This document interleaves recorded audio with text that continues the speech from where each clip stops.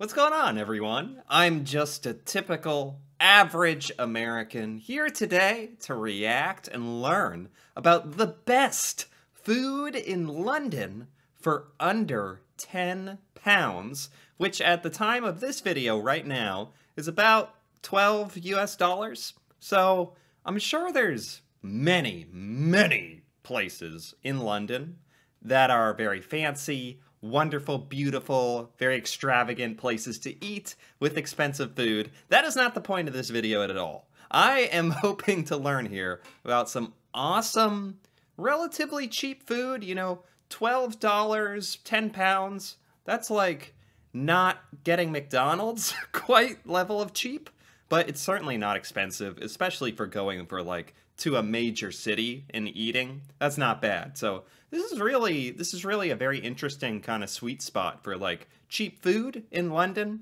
a place I know next to nothing about basically. So this video just has a ton of cool stuff I feel like I'm going to learn and tasty food. So, you know, what could what better to watch? So, let's take a look. The 10 best cheap eats in London. I'm Chris. This is Yellow Productions. I do travel guides that are fun, informative, entertaining. In this video, I'm going to be telling you 10 tasty places to get food for pretty cheap. What is he holding? I don't even know what he's holding right now, but it I feel like there's going to be a lot of that in this video, actually. First place we're going to start in this video is at Brindisa. It's at Borough Market. It has a chorizo sandwich that's about six oh. pounds for the double chorizo. Chorizo, arugula, spicy pepper, cooked up hot and fresh. Here we go. Let's dive into it. Oh, this is food for under 10 pounds. I just realized. This is only six pounds. You get this fancy sandwich. I don't even know what a chorizo sandwich is. I feel like I should look it up. Chorizo? I'm very, oh man, I'm not very cultured at all. What is this? It's a type of pork cured meat originating from the Iberian Peninsula in Europe. I don't feel so bad now. I feel like there was a very, very small chance I was going to know that, but now I do, and looks good. Okay, now that I've had a few bites of it, it's pretty good. The roll, soft and fluffy, warmed yeah. up. The chorizo, not too spicy. I mean, it is spicy, but, and again, I'm from San Diego where we have some pretty spicy Mexican food. Right. Definitely the Spanish version of this chorizo is a little less spicy, but still a really good kick and interplay between all the ingredients. Everything's really fresh. Now, nice. I'm gonna go ahead and finish this sandwich. If you wanna know more about Borough Market and the other food stalls here, then check out my video on Borough Market and the best markets in London. That's I actually saw that. Wow, I actually saw that video by him about the different food markets in London. Huh. It's a whole separate video to this one, which is just on cheap eats. I feel like that's going to be a lot of the food in this video, under 10 pounds, right? A lot of these like street market vendor type foods, which are actually like sneakily low key actually, I think everyone kind of knows this. Some of the best food, freshest best food you can get is in these sneaky, low key markets kind of places. Although, I don't know how sneaky this is. This is like a gigantic, well known market in London, but you get my point. For some cheap and delicious, classically British food, check out Mother Mash. What do they specialize in? They specialize in mashed potatoes with your choice of sausage or a meat pie. Just a Oh, man. Oh, I don't know about this. I always say when they bring up the meat pies, oh man, when in, in, these British videos I watch, whenever the meat pies are brought up, I don't know what to say and think because uh, I've never had a meat pie. We don't make our pies with meat in America. I don't want to just knock it. I've just never had it, so it kind of disturbs me, I guess. A little under 10 pounds for each. Truly delicious. They've got about eight okay. different choices for mashed potatoes, from the traditional wow. to the bubble and squeak, which incu- includes peas and cabbage. Wow. Oh, but I'm on board for mashed potatoes. I'm on board for that. I've never heard of anywhere having like 10, 10 different flavors of mashed potatoes. Okay. All right. I had the traditional with the Angus steak meat pie. Quite delicious. Lots okay. of tender, juicy beef in there. The gravy, I had the traditional gravy. You got a lot of choices for that. You know, that doesn't look too bad. when he shows it like this, kind of broken open. I mean, it's just meat inside of this flaky sort of coating around it with the delicious gravy and mashed potatoes. Yeah, it's probably very good. It's just I feel like I need to I need to bite the bullet and like just like have some meat pie and just like get it out of the way so I can enjoy looking at it. that too is pretty good and it was just under 10 pounds. If you want to be adventurous and classically British, add a side of mushy peas for about 165 mushy. and it is London, so get a mushy peas. This is perfect because I just watched a video like a few days ago explaining exactly what mushy peas were. I did not know what mushy peas were till very recently. Wow, this is perfect. This is the knowledge came in the correct order for me. Mushy peas kind of has like mint flavor, right? If I remember. A Pride of London beer too. That'll push you over the 10 pound limit, but hey, you know, when in Rome, or in this case, when in London. Yeah. For some of the best and cheapest fish and chips in London, check out the Laughing Halibut. Fish and chips. I love that he's uh he's actually managing to get like a lot of the just British sort of staples fish and chips, the meat pies. Wow, there's probably going to be even more. This is this is a good list so far. And like some of these things are like six pounds. This one's seven pounds. These are very affordable meals. It's located in Westminster, just a few blocks behind Westminster Abbey. If you get the fish and chips to go, it's seven pounds. It's a huge okay. piece of cod, delicious chips or French fries as they might be known. Uh, if right. you eat in, it's going to cost a little more. It's ten fifty, but you can also get the mushy peas. Why does it cost more to eat in? I've never really heard of that costing more to eat there at the establishment. Why would that be? Huh. And there's more, uh, more mushy peas, too. Which are a British specialty. Uh, I had a ginger beer to drink with as well. No alcohol oh. served here. But the fish, very fresh, very flaky. It's a huge piece. Between the fish and the chips, I could not finish it all. It's almost a meal for two. I'm Wow. Yeah, the fish, uh, I've nothing against fish or meat pies, but it's just not stuff that we really eat in America. I mean, I I should clarify, lots of people in America do eat fish, but it's nowhere close to common. Like there's no no classic American dish that has fish that I can think of. But in in Britain there's there's fish and chips, literally a dish around it. That's kind of my point. So I don't know what to think of the fish and chips, although it looks good, I can say that. I'm usually skeptical of places that claim they're the best of anything, but this place is pretty good. And you know okay. it's authentic because on the table are the traditional British complements. You got ketchup for the chips, you got mayonnaise, you got tartar sauce, you got brown sauce. Oh my god, what? And I just, I just, just learned about brown sauce. This is perfect. I, I understand kind of what's going on here have some brown sauce with your your fish and chips. That's only seven pounds. This is great. And you've got malt vinegar. The next cheap eat on this list, it's also in my weird things to do list because it's kind of weird. It's in this church, the St. Martin in the Fields Church, which is oh. at Trafalgar Square. But in this little rotunda right here, they've got a cafe in the crypt. Oh. Yes, you could. Whoa! Wow, this is awesome and kind of scary. Ca- cafe in the crypt. Is that literally what it's called? And what is, what do you eat in the in the crypt? Dare I ask?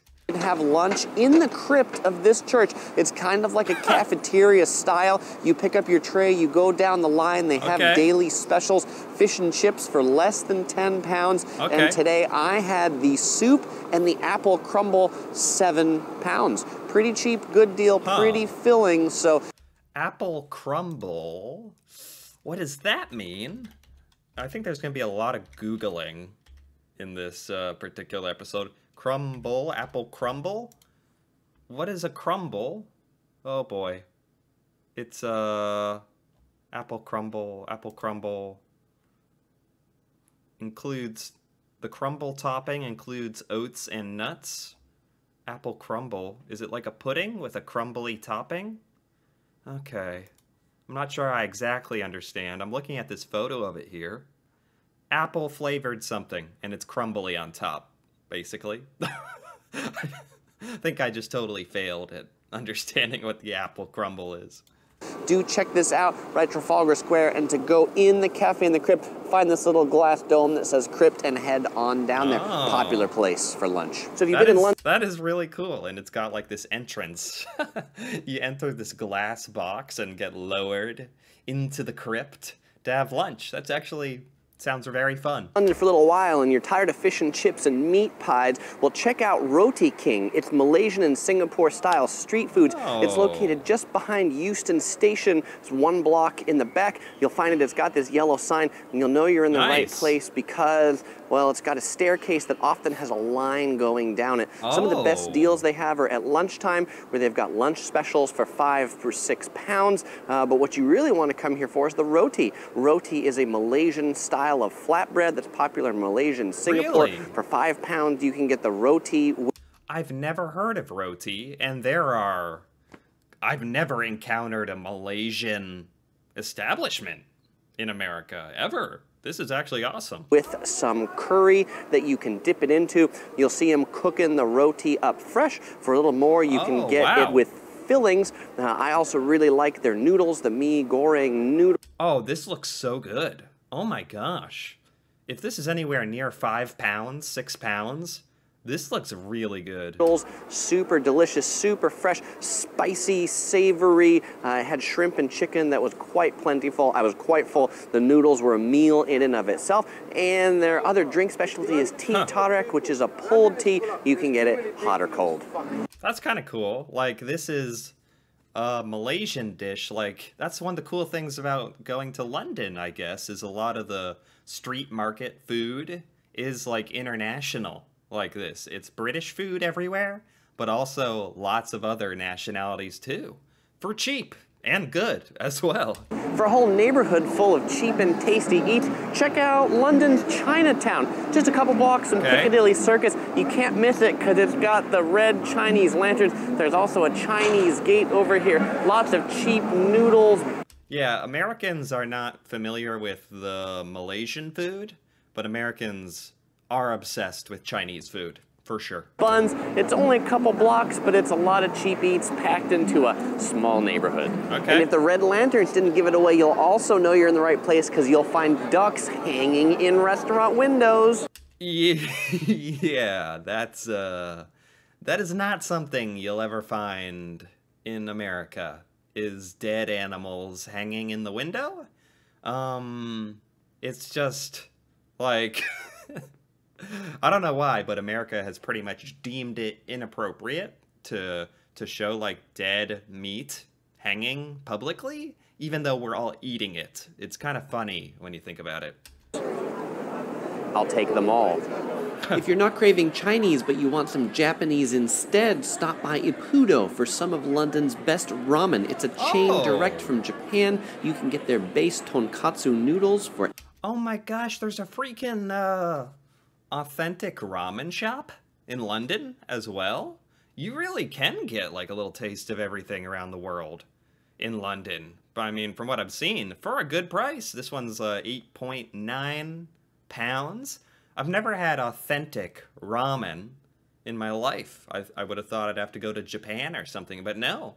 You can just go to London £8.90. pence. And for the most authentic ramen eating experience, have a seat at the noodle bar where you can see huh. those noodles cooking up in the back. You can yeah. see the steam coming off yeah. them. Yeah, now yeah. that we've covered all the independent cheap eats in London, let's move on to some of the cheap eat chains. These, okay. while maybe not getting as much press in like cheap eats things and Time Out, they are still good, cheap, but the Londoners might already know what they are. But if you're traveling here, you might not. My favorite cheap eat chain is called Pret. They do. I actually thought all of the uh, foods on this list were going to be like market, street market, independent stall type of mom and pop shops. But uh, this is a chain, and it's only two ninety nine. Pret a manger? What did he say? You're traveling here, you might not. My favorite cheap eat chain is called Pret.